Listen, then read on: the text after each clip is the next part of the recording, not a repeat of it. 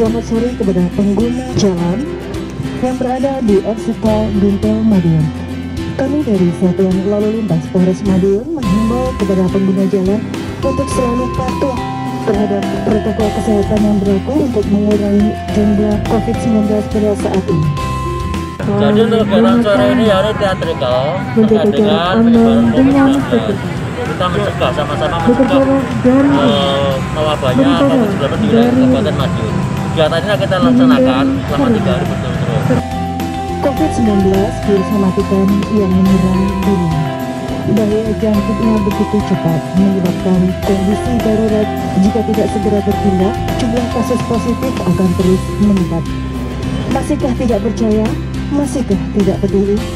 Stop penyebaran dengan memakai masker, jaga jarak aman dengan sekitar, bekerjalah dari rumah.